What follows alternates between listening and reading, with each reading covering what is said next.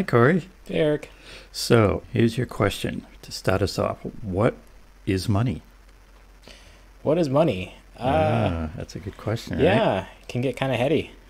Whenever I uh, I think of, of money and, and someone talking about money and whatnot, I, I think of Monty Python and uh, and, and Eric Idle, and uh, and this, which was their money program. Here he goes.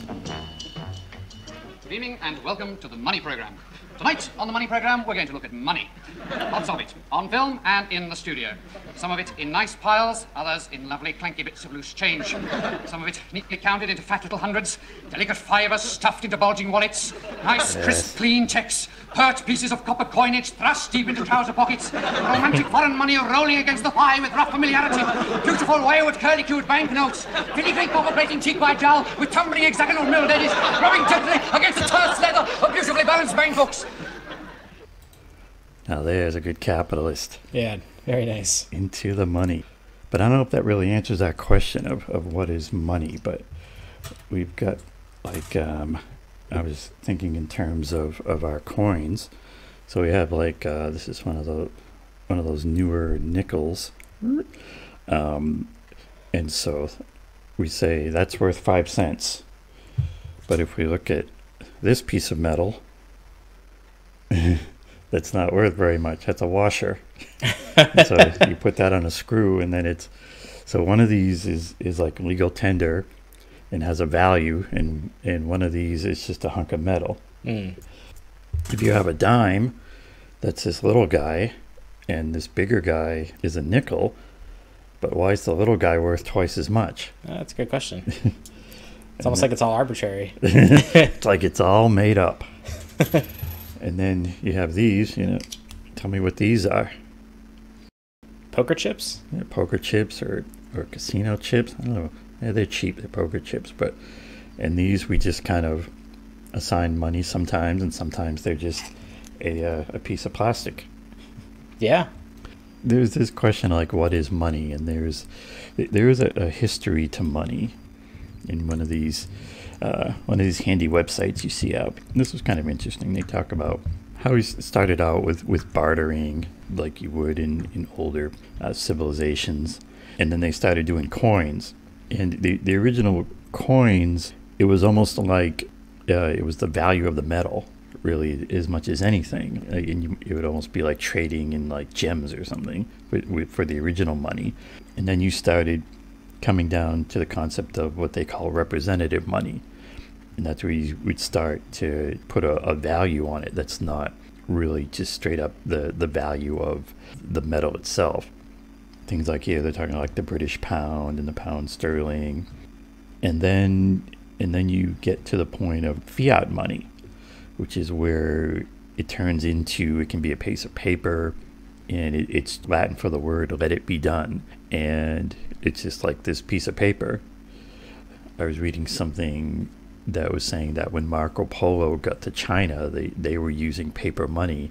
And in his experience, that wasn't a thing. And he was amazed at the idea that they would be trading in, in the market and would actually just buy something and just and just give this piece of paper for it.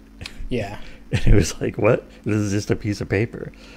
But that's the the whole idea of, of the fiat currency. It's just that the government decides it's a thing, it's the currency.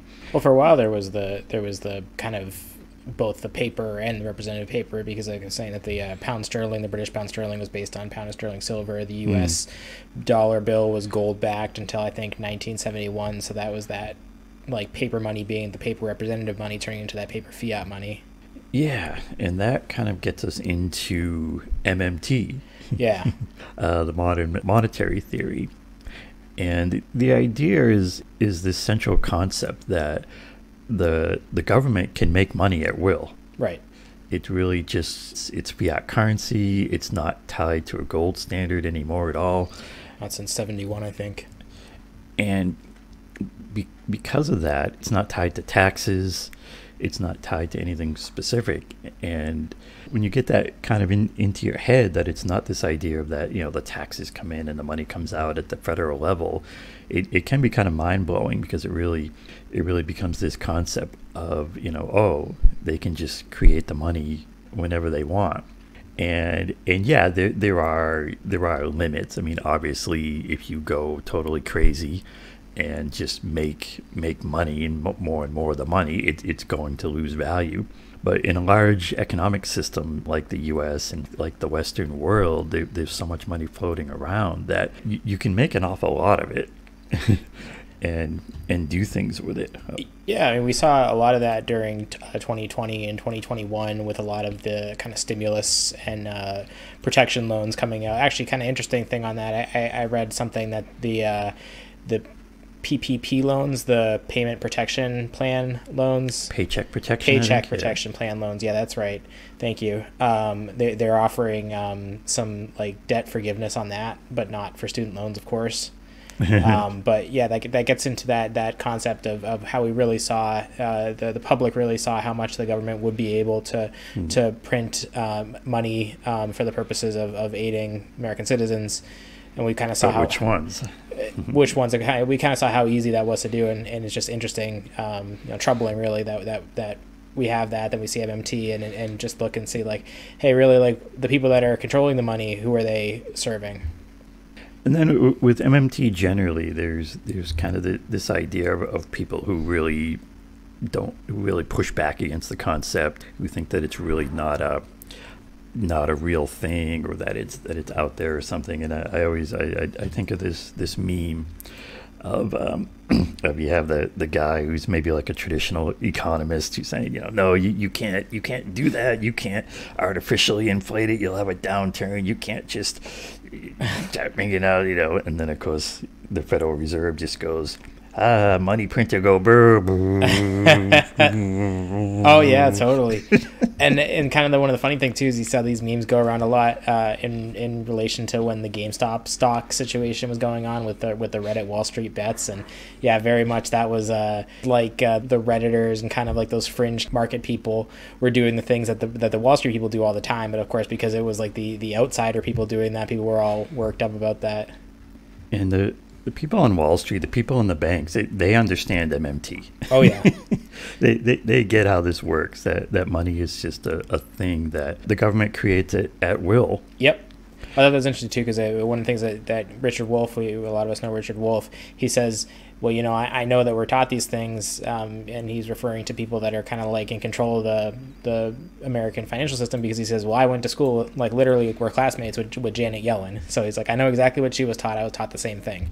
So yeah, these this is not something that's that's new. It's something that they're aware of, and and you know they try very hard to make sure that we don't become aware of it as the general public. And these these little little figures, they have a name we, we actually just just looked it up to remind ourselves again. But these these guys are called Wojaks. Wojak. so if you hear the Wojak, it means it means this kind of guy, and and apparently it's also known as the feels guy. Yes. but the Wojaks. All right. A funny thing too that uh, is just going back to before when there was like the gold backed dollar is uh you know the, the joke is if, if gold was was such this like valuable um, element then then then why is like the majority of it sitting just in rooms in dark rooms somewhere in the basement doing nothing at all? Mm-hmm. because in, in reality it's it's not super like useful in like a materials engineering kind of way. So it's just uh interesting how you know.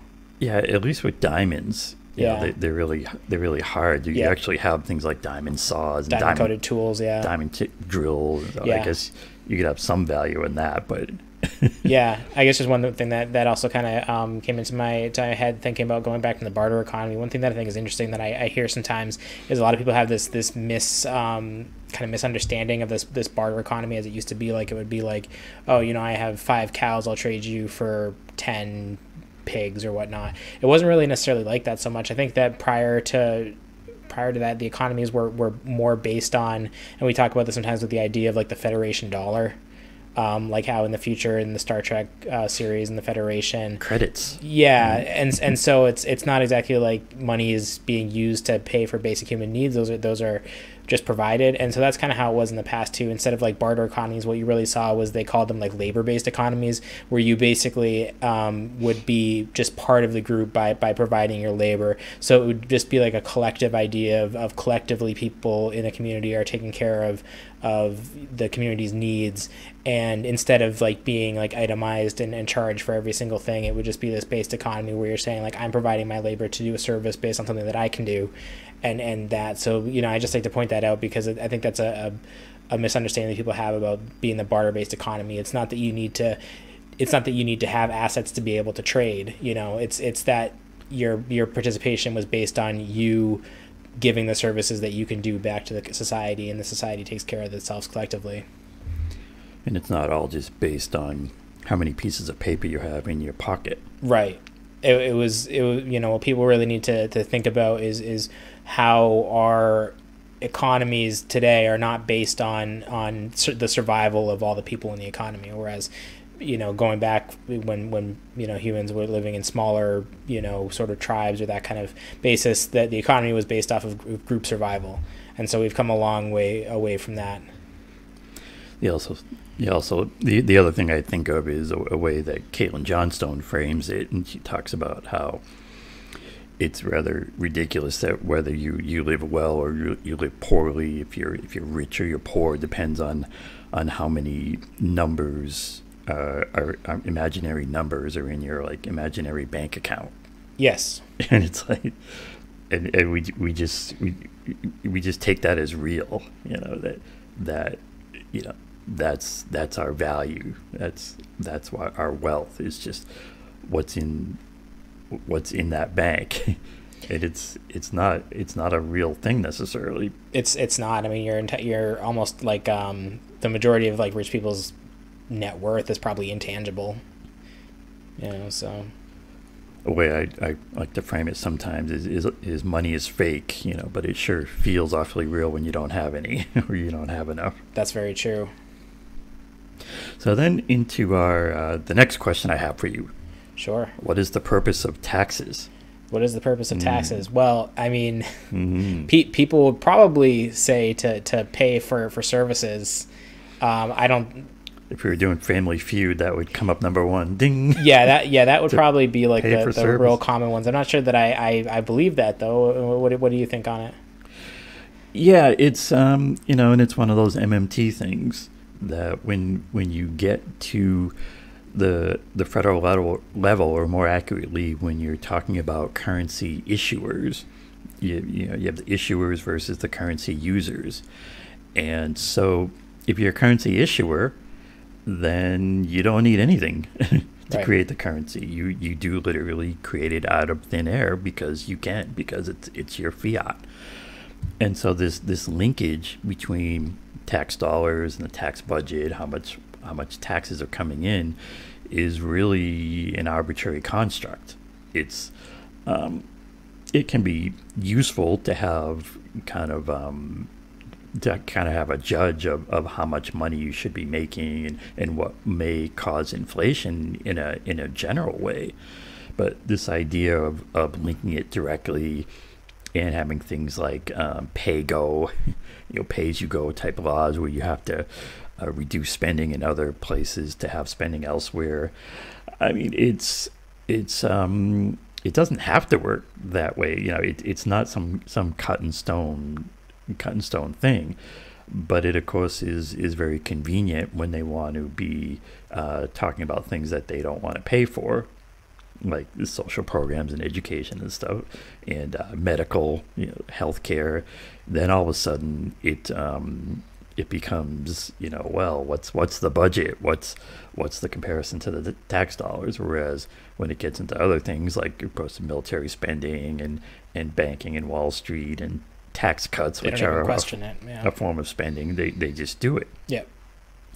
So along those lines, there's there's like I, I gotta say like, like whenever I hear people, especially like like um, hosts on the left, talk about uh, tax dollars. They say, you know, this is where our tax dollars are going. I actually get a bit triggered now because I, I, you know, and I just want to, I just want to like like put in you know hashtag learn MMT in there because it's and and the, reason it, it isn't just because of, of the academic thing of you know well that's how it actually works or whatnot, but it actually has um, it has consequences when when when it's put that way. You know, I don't want my tax dollars going towards this or that. By that logic, you're actually saying then that if someone pays more taxes, then they have more say in how the money is spent is is essentially what you're endorsing when when you kind of when you kind of frame it that way because if that's what taxes are for then you know if, if you're paying more taxes then you should have more influence Yep, uh, definitely, and yeah, that that that kind of thinking also kind of breeds, I, I think, a lack of empathy because we talk about sometimes how a lot of these social programs they're not being supported in public is, is kind of due to this lack of empathy. If you have it in your head that it's like your tax dollars, like you said, rather than just thinking of like this collective thing that's being done by the government, people will get in their heads, oh well, you know, I don't support this, I don't want to support that with my tax dollars. But in, in reality, it's it's it's as you're saying, not like that. It's not like it's being tied to individual dollars, and of course, that's going to be a political tool that the oligarchs and the and the ruling people can can use as as weaponized against the voters and you know rile up tribal fights and whatnot. And and and you can get into things like like when when you're trying to get the rich to pay more in taxes you'll have these arguments like you know well they're already they're already paying most of the tax burden. So, so why should they have to pay more? It's not it's not fair. Yeah so you know and that gets us back in into the question again you know but that, so then what are taxes for and you know, from my understanding of it and the way I look at it, is it's about cycling the money back in. Is one basic basic idea of it. You can't just um, create fiat currency and just put it out there indefinitely. It has to be cycled back in. I've heard of um, concepts of like the velocity of money, of mm-hmm. it going going out and then and then coming back in. And so, I mean, there, there's that basic concept, but then there's the idea of of how do we want to tax people, and there can be real purpose and intention when it comes to that, um, and it gets into the wealth inequality. And so, if we decide that we want to have a society that um, that the wealthy people just get more and more wealthy, more wealth and more power and whatnot, then then we kind of um, cut their taxes, and then they they can gather more money, and the rest of the the ninety nine percent who just have the the the regular taxes, then we fall further and further behind. Whereas if you have a progressive tax system where you're actually charging um, more higher rates for people who are have more money or more wealthy, then you can actually use that as a tool to work towards the goal of, of wealth equality rather than the huge wealth inequality.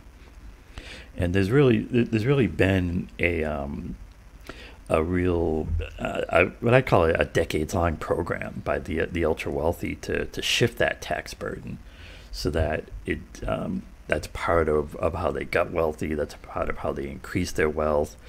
Um, and it's it's a real tool and and I, I think what we on the left really need to get serious about is recognizing that taxes and tax distribution are, are a tool that we should be using uh, to demand uh, progressive taxation and progressive tax systems to to claw back this wealth inequality.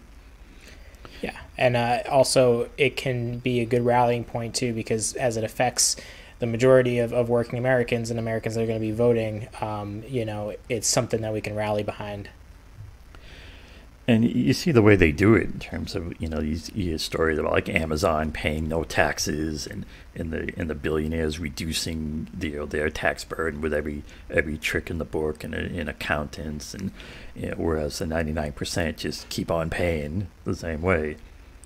Right, and it also uh, becomes an issue when you have a prioritization on like private charity and stuff like that because a lot of times what'll happen is is you know to shift blame and divert from from millionaires and billionaires going out there and saying oh we're not paying our fair tax burden they'll do big donations to charitable foundations and whatnot so this is something we need to push back on in terms of of arguing as to why we need the tax reform rather than just allowing billionaires to you know shift money through charities for that purpose Yeah, it's like you, you can keep your donations and pay your taxes. Definitely. and then it, it, it's it's about control as well because when when they're doing these donations and it's their pet projects and you, got people like Bill Gates out there just you know just deciding you know which disease he wants to target that year you know that that's got him, his interest or what pet project and you know what what we should be doing is is having a, government that represents the actual people and that um, is able to uh, spend money, you know, that, that benefits the 99%. Absolutely, with the with the billionaires and the wealthy within a certain uh, part, you know, it, within a certain part of the population, there's almost this, uh, obsession with them. You see that a lot with people with that with Elon Musk is that you know they're going to be the billionaire savior class, and that's something that we absolutely need to be fighting against. So then the other thing um, I makes me think of is is the whole concept of the federal deficit. And you know the the, the whole concept of, of the federal deficit it, it it's like a, a monetary psyop. I mean it's it's not a real thing. I mean the, the, the federal deficit is like it's an accounting total of just the, the the number that's the federal spending and the number that's the tax revenues. Now, now you can decide that these need to be equal, or or you can decide that they don't. Um, but the the way it gets used, you know, and you have like the debt clock, and I mean, uh, you know, it's another thing on the left. I, I think we, we just really need to start recognizing that as a psyop, as a as propaganda. Yeah, agreed. It definitely should be called out too, because really, it's one of those things that only comes up when it's convenient to the narrative that they want to push, and mm-hmm. other and other times it does not come up at all. And then you have kind of the idea of, uh, like if you, if you have the federal debt, you know, well, the the Fed could just print money to pay it off, or if there are like you know like, like any any federal borrowing is is a policy choice. It's not it's not like you know it was needed or we, we wouldn't get the roads and bridges without it or we wouldn't you know be able to to fund the military or something without it it's a policy choice and in a monetary system i mean you you can have um, you know it does it's not necessarily crazy to have things like bonds and that you know that operate as, as debt and go back and forth but it's really down to with these policies who they benefit you know who who's in control who's in control of them and who you know are, are they are they helping with with the whole society in the 99 or or are they going to the ultra wealthy on top and increasing the wealth inequality which you see more often than not because of course you know the billionaires and the megacorps at this point at this point uh, control our government, and that's another thing we got to work on. Right, and the uh, federal deficit or federal debt will also get used as a tool uh, to push foreign policy narratives and to push further political. There's a lot of like China and Russia baiting and, and whatnot that goes on with, with talks around the, the federal debt and economy. So just another uh, weapon that, that they can use to, to continue to have the people fight about and talking about that rather than the actual issues at the root of the money. And sometimes there's this idea of, of uh, uh, minting the coin. Have you heard that one? You know, mint, mint the coin, and the idea is that the uh, the the treasury can can mint currency of any type and of any value that it chooses, and so you the the the treasury could mint a um, a trillion dollar coin and just deposit it into um, into the account and then um, and just spend on it. Right. And I, I, think it's useful as an exercise to kind of uh, get it into people's heads that this is all a game. this is all, uh, it doesn't have to be this whole thing of, of like a household budget where you only have so much money. Um, but you don't, you don't even really need a coin. I mean, it's just an act of Congress can just create money. Right. I mean, that's just the simple reality. I mean, sometimes people like to frame MMT like it's some it's some plan or some weird out there theory or some policy that that we could you know work towards but it's kind of weird and whatnot. But all it really is is um, is just a description of how things really work and how federal spending really works. Yeah i mean money and currency itself is almost just one thought experiment. The whole thing right? Right. You mean it's all made up it's all made up and then in um and then when we had the the big crash in in 2009 you really saw um, how easily they created a bunch of money and and just um, and just delivered it out to bail out the banks, bail out the big companies, the big businesses. And you know, you would have thought that more people should have kind of figured it out after that. That um, that Congress, that the government can create money and do what it wants with it. And then now we had our our more recent uh, COVID uh, pandemic crash, uh, or you know, downturn, however it worked out, you know, but where they created lots of of money. Um, one way I heard it described of is uh, they basically shot a money cannon at Wall Street. and you know it, it, what it makes me think of is that you know when you when you do that kind of money creation um, it certainly can create inflation potentially and where it really created inflation was on wall street. All the stocks went up. Right. And the billionaires you know their their profits went up. You see these these mega corporations and and they all made out. And you know i think you can draw really a pretty direct connection between um, between the the federal between Congress just creating that money and those profits. Oh, absolutely, yeah, and it's it's money that's that's being created, but uh, in the public sector and going into the private sector. So that that's money that was printed by the government to try to ameliorate an economic situation, and it's being siphoned out into private pockets constantly by the wealthy. And you had one of the things that I've heard about that that it's happened is that when when we had the 2009 crash, the um, they had to have um, acts, special acts of Congress to, to kind of generate that money and funnel it out and do that stuff. And now, from what I've heard, the Fed is, has been empowered to to do those kind of things automatically. This is why uh, you didn't necessarily hear you, you don't hear a lot about what happens now because the federal bank cre- just creates a lot of money and pushes it out to the big banks, to Wall Street, and it, it, they just have to like see systemic risk there, something like that. And I, from what I understand, to a large extent, they're they're just empowered to do that. Whereas, of course, when it's something like healthcare or education or social spending, everything turns into a debate and, and a long process.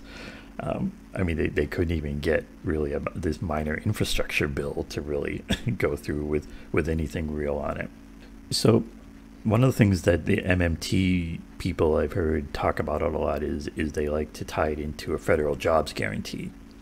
And one reason why that works well is when you're talking about creating this money, whether or not it'll create inflation, how it will work in the economy. The way, I, the way I've heard it described is that it, it's it's about whether the, the the greater economy can absorb it. If there's one way I've heard it framed is that if the federal government decides it wants to employ a like like a whole bunch of plumbers, let's say, and so if out there in the society there's there's not a lot of plumbers, and the and the federal government starts hiring a whole bunch, then the price for plumbers is is going to go up because they're they're going to get more scarce and it's a market, and that's how it works. But but if you had a situation where you had a whole bunch of unemployed plumbers sitting around looking for work eh, or underemployed, and then you hire them with federal dollars, not taxpayer dollars, federal dollars, then it, it actually is really good for the economy. It gets into uh, that that money kind of uh, circulates around, and you you give them jobs, you get them working, and it's not going to have the same kind of inflationary effect on on the the plumbers and their salaries because they weren't they weren't making plumber salaries before that. And so the federal job guarantee kind of works in a similar way in that you're you're giving people good jobs, better jobs, you're covering unemployed people and it's just a, a it's just a really good tie-in to the, the whole MMT theory and that whole kind of systemic thing and it's a way to to really make that um, the system and the ability to to create money to make that really work and to work for the society in general and not just for the ultra rich. Yeah, for sure. Definitely one of the things that we've talked about too on the show is is how it's a shame that in public schools you don't have a lack of, of kind of education about these topics. So what you're going on to is something that people that don't have a basic education uh, provided to them on economics that that is is, is something that, that really could be uh, could be used more. That's a good point. Mm. Because it's tricky though, because it seems like uh, economists aren't uh, aren't trained in a way where they, they seem open to the idea of MMT. that is a good point. I, I, guess you know probably the, the kind of college economics departments are, are maybe a little Need bit some reworking. Yeah, maybe a little bit kind of uh, bought and, and, and influenced by similar how you have the, the journalism mm-hmm. schools. Um, but yeah, that's a good point too. But you know some some.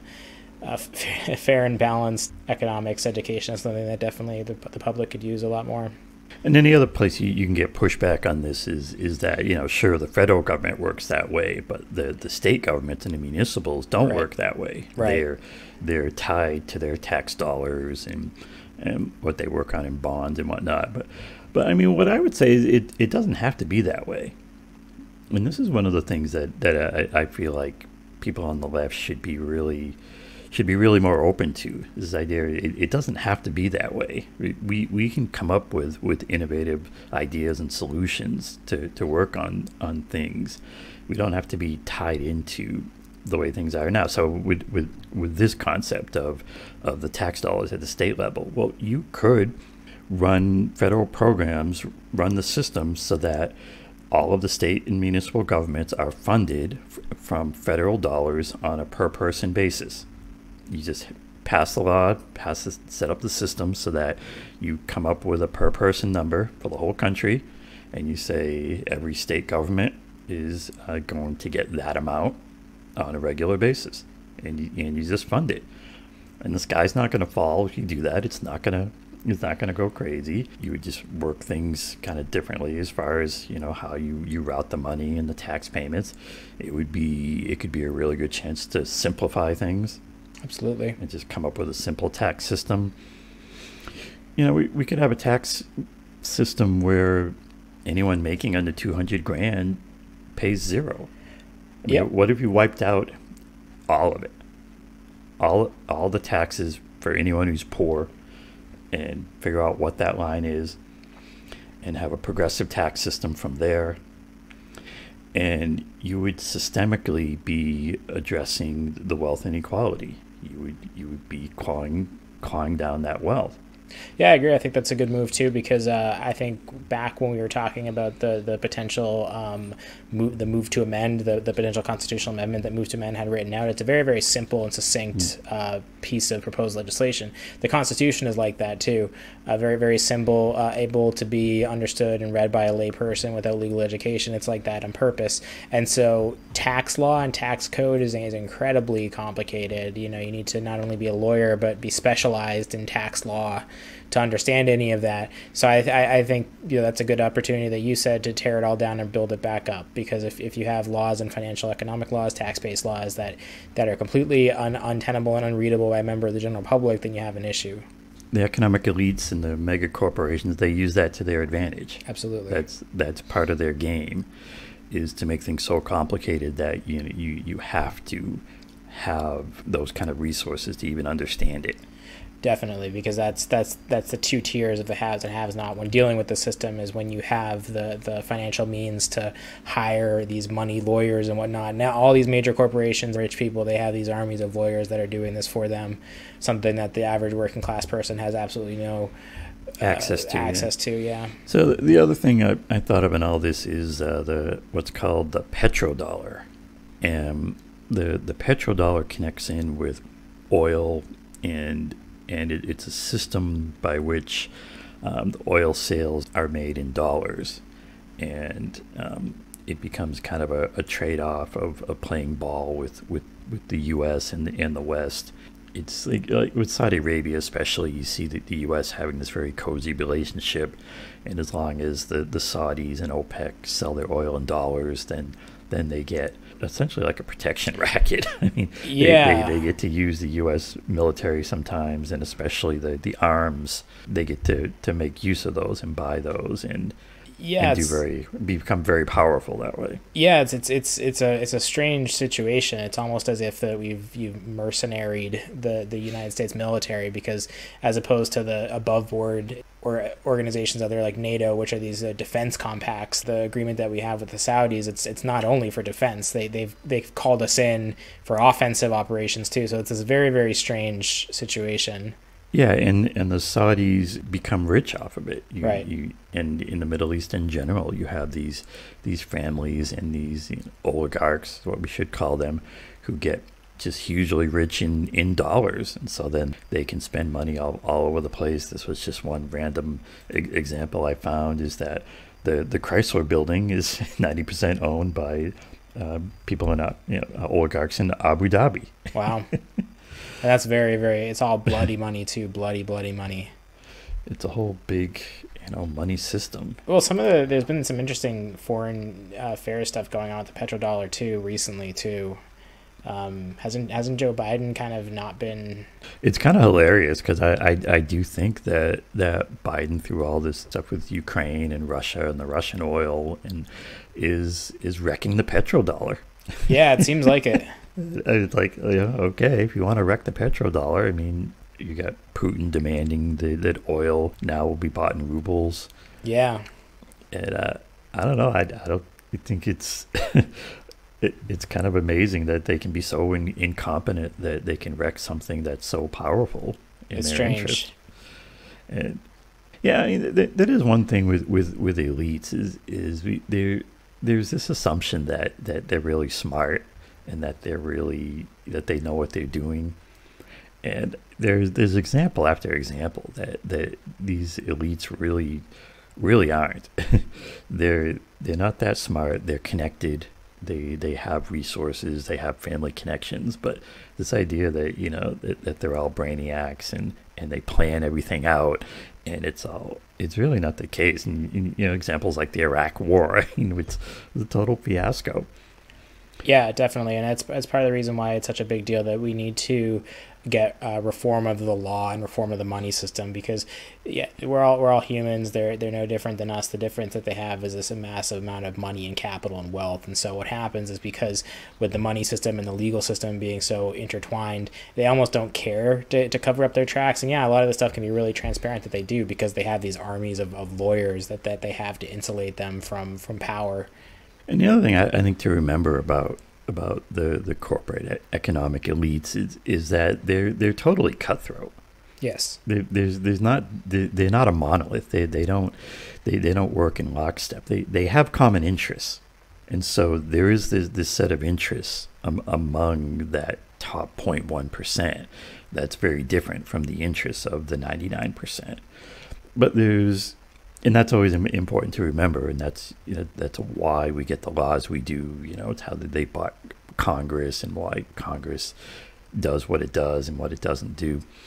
But I think it's also important to remember that they they'll cut each other down. I mean, they'll they'll even they'll even screw over themselves for like a better quarter. it's they're they're, they're It's very much like a Game of Thrones situation.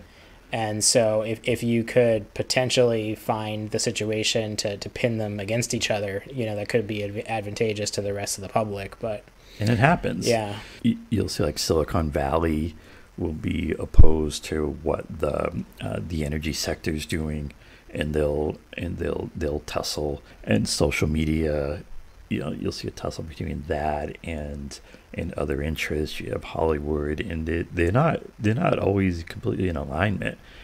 And in theory, if if we of the ninety nine percent can be working collaboratively for our common interests, and and poke at things that divide them up. I, I, I do think there are like real opportunities there. We can kind of kind of figure out those those fissures, those those things to to kind of crack open the, the power structure. I, I think it's possible. yeah, I agree. I agree. I think that, that using their their greed against each Mm. other is definitely part of a multi pronged takeover that can happen. So then, in terms of solutions, because that's that's something that I really always like to hit on is is what are the the potential solutions. I do feel like a lot of even the, the the people I really like on on the left, there is a real tendency to to focus on the problems and call out the the problems and and list them and call them out. and get mad about them. And, and all that is, is crucial. All that is needs to be done. But we also need to be thinking about what's what's a step two what what are the potential solutions? Because if we don't have any to offer then I, I don't see how this movement is is really going to to have legs to really spread and, and succeed. You got to be giving people something to hang on to to to look at. I mean i hate to use that word but the word but to, to hope for.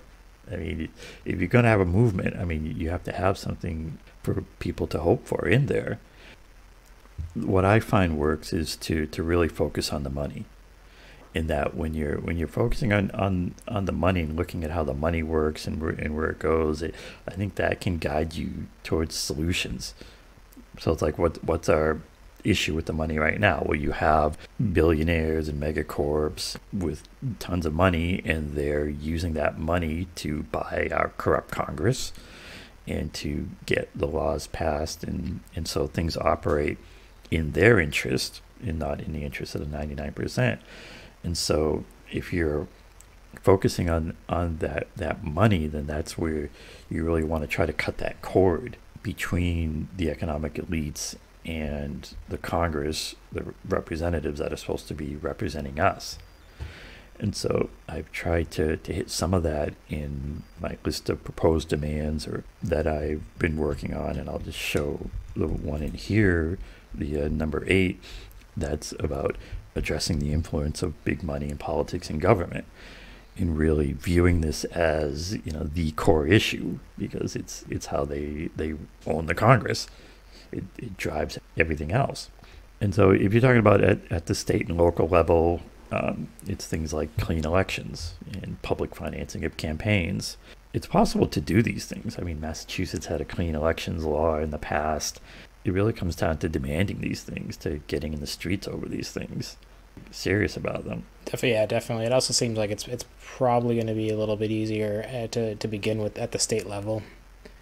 And then at the federal level, you basically you basically got to amend the Constitution because right now money is speech, corporations are people.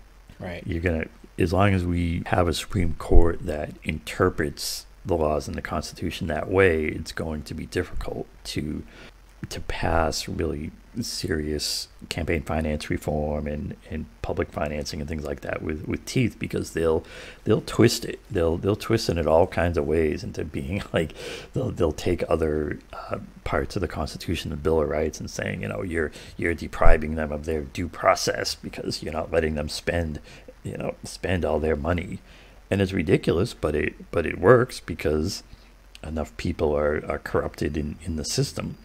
If you look at the proposed amendment that the move to amend folks have out there, the We the People amendment, and it's and it's real simple. Like you mentioned earlier, it's yep. real simple. Artificial entities, not just corporations, do not have constitutional rights. Money is not free speech. That's your basic amendment. I mean, you know, and it gets into a little more detail, but you know, that's your amendment. I, I think if we made something like this the cornerstone of a left movement, it, it could be a, a dividing line, a, a thing of where you're really pressing candidates and representatives to say, you know, are you really for this or, or aren't you? Yeah, and this is very possible. It's not something that we want to get cynical about. This is this is possible to happen and, and worth fighting for.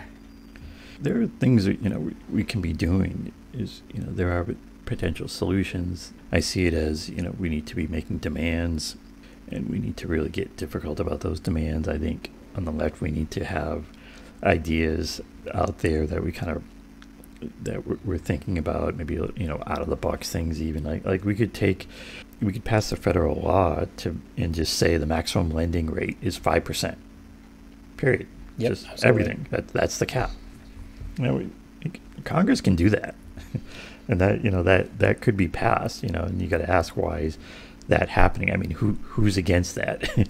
Is is the 99% against that? I don't think so yeah. I agree. But I, I, I feel like we're almost like not trying for for some of these things. We're not really pushing and, and trying to make use of our of our numbers.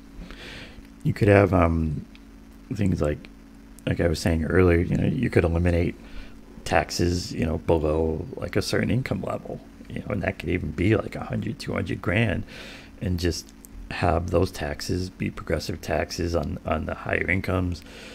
Get rid of you know get rid of all the taxes. Get rid of the sales taxes. I mean, and just simplify it and just have a high income tax, have a wealth tax. If you really did that, you know, the the effect would be transformative as far as the, the wealth inequality situation. And you, you do the same thing with, with businesses. I mean, I don't hear this. I mean, sometimes you hear it talked about with small businesses and how they're having trouble, you know, how they would have trouble paying minimum wages and things like that.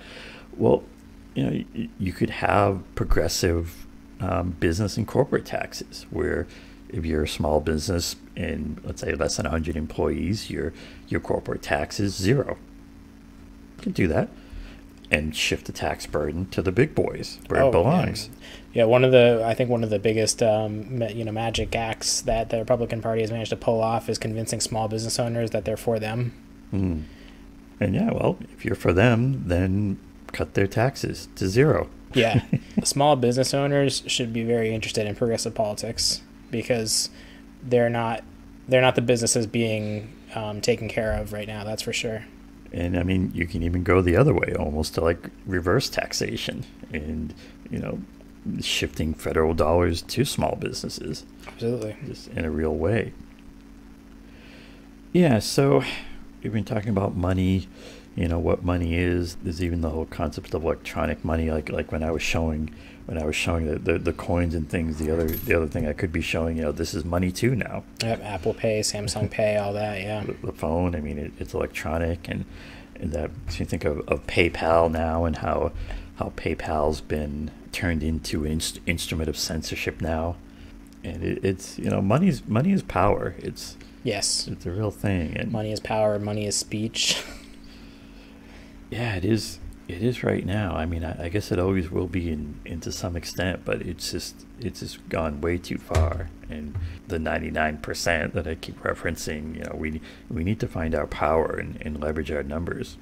Yeah, definitely. I think we should also be suspicious and, and keep an eye on on of what parts of the government are, are being actively funded. Um, you know, mm. one of the problems is that you'll budgets are power. Yeah, money. budgets like the police, first responder budgets compared to other areas. You know, be be suspicious and, and wherever you live, look at what, what money is going to the budgets. In some some jurisdictions, uh, the police, which is almost a, can be sort of a, a tie-in to the military industrial complex, can be having a lot of budget, budding budgets going to the police when not going into schools and social programs. You have like a an agency like the New York City Police Department Uh, it's I think would be in the top 25 of, of militaries in the world just based off of its budget and, and amount of staff. It's something we should just, be very just suspicious think about of. that. You know, it's it's like a foreign military. Yes, just just there, and just right. operating, and and they operate outside of the city too. Absolutely. Oh yeah, the the NYPD actually I know for a fact they have offices outside of, of New York, outside of the country. I I know at least that they have one substation, I think, in Israel. That for, for just a municipal police department to, to be doing international operations, I'm not I'm not claiming that there's a lot, but it does exist. It's uh, it just makes you wonder because it's not really what a local municipal police department should really be be doing. But if you think about the Capitol Police, I know that some people pointed out the. They just got a big boost. Yeah, I know people also pointed out hypocrisies that some of the members of like the squad and whatnot supported that. Um, it's it's it's very transparent when they do that because it, it goes and it shows who they're really interested in, which is their own interests. You know, we already established that that police. You know, it has its the, the police department they, as it exists today has its roots in in slave catching and in uh, protection of private property and enforcement of property laws. And so that's what the Capitol Police is. Not a lot of people know this. The Capitol Police, they also do personal protection for members of Congress. So, like Nancy Pelosi, she has a Capitol Police detail similar to Secret so Service. Important. Yeah, similar to like a Secret Service type thing. I'm not. I don't think every single member of Congress has their own personal detail, but the the ones that you see in in the news all the time definitely do. I think senators all do. Um, I'm struck by the arrogance of these people. Yeah, but that's another topic. and and also all the all the money that they just flooded into the Capitol Police because they they were saying that it's going to be detecting and preventing future acts like the January 6th stuff. They they've almost turned it from a federal law enforcement agency into like a federal like intelligence community type agency. So that's just something we should definitely continue to be suspicious of and, and question any kind of major increases into the police departments, especially considering that we're not really seeing a, a benefit to the general public. We should be demanding cuts. It's Yeah. like we should be demanding cuts to the military budget. Right. Start cutting it, period. Absolutely. And yeah, also with with that any cuts, just be very suspicious of of how rises in crime that they're alleging might be twisted in terms of that. So then, when we're talking about policing and, and criminal justice, you know, we, we can also be looking at at, at our, more of our local police and, and justice systems and our courts, and and there's there's a real economic tie into that that I know you wanted to talk about. Yeah, definitely. So I wanted to bring up uh, bail, the topic of bail, real real quick.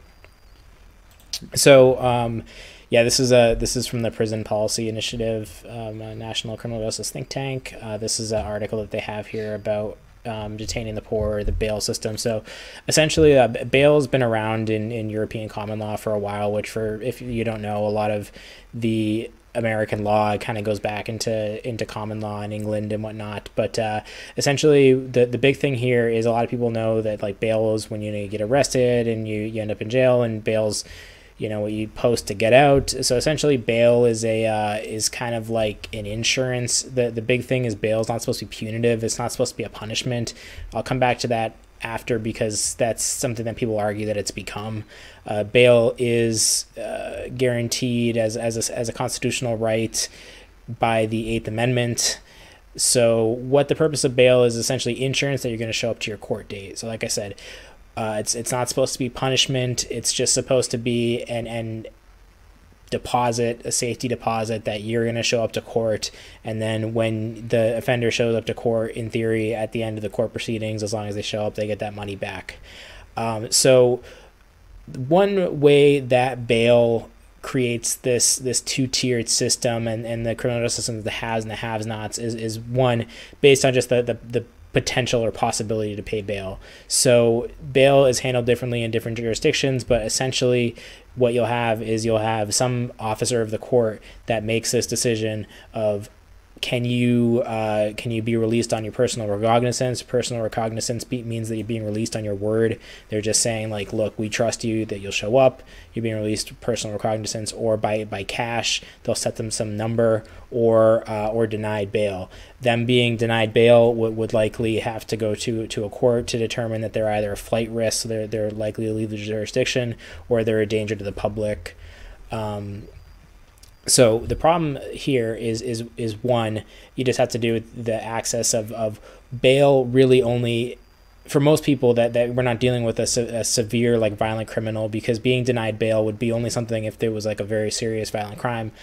Bail really only applies to the poor because if you're rich you, you don't even think about it. It's just like uh, I heard, heard this anecdotal story that, that somebody was like talking to a rich friend and they were driving around a city and they said, uh, "Oh no, you can't park there because their friend who was rich is going to park and, and pull into a spot." And they said, "No, I can park there. It's just sixty dollars." Right, and so that's kind of how the wealthy will think about the criminal justice system: is that, yes, I can do these things. It's it's just like a bill. Um, so bail really only does affect in, in, a, in a severe way the people that money is tight or working class people because uh, otherwise you would have to worry about that. So the problem is that bail is generally based off of um, the quote unquote severity of the crime or the record and not based off of the person's ability to pay. So what that uh, would mean is you the the system is not taking into account that that person's ability. It's not taking into account their assets. It's not um, something that's like a, oh this is 1% of, of your money made over time.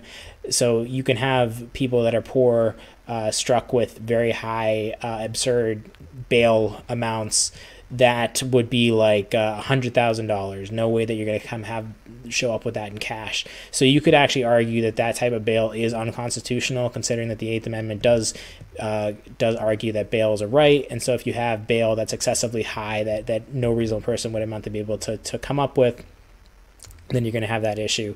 Some Now, I've heard also talks about move to um, abolish cash bail. Yeah, so that would be uh, basically having bail arrangements that would be alternatives, such as um, in Massachusetts, we don't have bail bondsmen. So bail bondsmen are, are essentially like loan sharks that that that lend for bail money. The reason that you don't have a bail shark or bail bondsman rather in a state like Massachusetts is because we have uh, cash bail alternatives where the person that that's being released out on bail has an arrangement where they can pay like a lower percentage direct and that that takes care of their bail situation yeah, I mean another another uh, way to think about the bail is is that so you have uh, jails and prisons. So in prisons you have people that are being uh, that have been convicted. Jails are generally uh, split up into two sections. One is that of people that are convicted for misdemeanors jails, also sometimes known as house corrections, and they're people that are doing shorter term sentences. Jails also hold pretrial defendants. So that makes up about 70% of, of jail populations. And so those are people that are in jail but awaiting trial, sentencing. They're still going through the court proceedings. They are legally presumed innocent. That, that's what you have in the Fifth Amendment innocent until proven guilty, but they are incarcerated uh, waiting for bail. Uh, so this is a, a, reason that, that we need to reevaluate the, the bail system, have it be more of a, of a not not really um, for anything other than, than a basic deposit. It shouldn't be something that, that it's being used right now in, in the way that it's punishment, it's punitive. Um, and we need to definitely reevaluate that thinking that because essentially now it's just used to uh, judges can essentially have this huge control over over people that are in the in the trial system and, and they are innocent so yeah, I mean, basic, basically just a, a, quick way to go in here and talk about how the bail system and, and money has, has stymied and created this this this real inequality in the criminal justice system for the for the working class and the poor. Uh, just one more graphic. Uh, just we, we, we definitely know that the U.S. Uh, has has this large incarceration rate. There's this graphic down here. So here, um, this is comparing Massachusetts and founding NATO countries on the incarceration rates. This is rates per 100,000 people. So uh, if you look at the country that's closest to us down, the UK there, 129 per 100,000 people.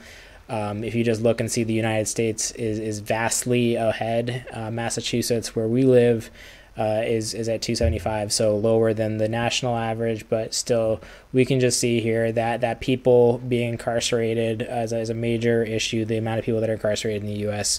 and that's for nonviolent crimes. Bail is a big part of that because that's that's counting people, all the people that are incarcerated, including those people that are there pre-trial, they're innocent until proven guilty, but they can't make cash bail or cash bail or other bail alternatives haven't been made available to them. Uh, so just definitely something to think about because while we're not getting into it in this topic, uh, the 13th Amendment is that amendment that basically, you know, allows uh, prison jail labor that's that's essentially almost very similar to chattel slavery labor, and that all comes down into whether or not you can be uh, denied bail. Because, like like I said, for the the Thirteenth Amendment, it's not only that kind of of really unfair working environment that that's being handed down to convicted felons, which would be bad enough because that, that's not saying that convicted felons deserve that. They do not. But you can have people that are in jail, innocent, uh, were, were not able to make their, their bail, but they're sitting there as an innocent person in jail being, being used for that prison type labor. And so, as I understand it, the under the Thirteenth Amendment, they can actually be be forced to work. That's correct. They can be compelled to work, and they can be withheld services within the within the prison, not basic life services, but uh, quality of life services such as access to the commissary, the food store, uh, and and privileges. They can have privileges withheld in in, in, in jail, and uh, up to and including can be put into solitary confinement for refusing to work, which a lot of people in the prison abolishment uh, movement consider to be torture, solitary confinement. There's the whole basic concept of of just trying to eliminate as much incarceration as as we can. I think as a movement, that's what we need to be arguing for: is that the the only people that should be incarcerated long term, if for years, are are the rare breed of criminal that, that are violent and truly dangerous to the public. I, I would estimate personally that that's a, a few percent of the people that are currently incarcerated. And then for, for the for the rest of the people, I would say what we would want to do is is have some programs that are short term, intensive incarceration programs for say a few months where they would be in a, in a, in a supervised environment, learning job and life skills to help them rebuild their life when they get out. Again, not having people parked in, in jails for in prisons for years for nonviolent offenses, but uh, having a, a brief period in a correctional facility that helps them build up and reestablish when they get out. And of course, tie, tie it much more into the mental health system and the health system in general. Yeah, absolutely. I think uh, one of the things I always bring up and tell people is that the number one provider of mental health care services in the United States is the Cook County Jail in Chicago, Illinois. That is the number one provider of mental health care services, not a hospital, is the Cook County Jail. So the the the criminal justice system has has also become um, a catch-all for, for mental health and social services, which is a big problem. The real driver of, of crime is is poverty. Absolutely, yeah. Poverty should be looked at as a disease and, and as as that as a societal failure. As a societal failure, yeah. I also like to look at it as, as in terms of like of a disease though, because I do think that poverty causes mental uh, mental health problems and, and substance use. Men- mental health issues do not cause people to, to do criminal behaviors, but substance use can. Um, so you know that's that's and, and substance use and mental mental health they, they they do kind of coincide. I guess what I'm just trying to say is is I, I'm I'm absolutely not pushing a narrative that people with mental health problems are, are likely to commit crimes. It's not the case at all. In fact, people with mental health problems are far more likely to be victims of crimes than than perpetrators of crimes. But yeah, all of those social issues that come with poverty can can create um, the quality of life crimes that people get incarcerated for all the time, especially in, in states with three strikes laws like California. Three felonies, no matter what they are, will get you a, a lifetime sentence. And also the when, when dealing with people that are criminal justice involved, that can also be a good uh, impetus for jobs programs mm-hmm. because th- those those are jobs like working uh, in in counseling and, and providing services and helping people out and also doing security and, and you know housing facilities and stuff like that. That can be awesome because you know de- definitely you know like you're talking about people that are of a certain wealth class they get lots of chances and lots of opportunities. And when when they mess up they get a little slap on the wrist and, and are kind of given some guidance. And that's something that we can be doing with with, with people. And so um, the, the key isn't isn't to be like like so angry about that that you want to tear the whole system down. I, I think that the key is to demand that that level of of care uh, and of chances for, for, everyone. Yeah, the definitely. minimum. Oh yeah, the, definitely. The floor. I agree. And with that, we'll say crime and politics over and out. We'll see you next time, Corey. Over and out. See ya.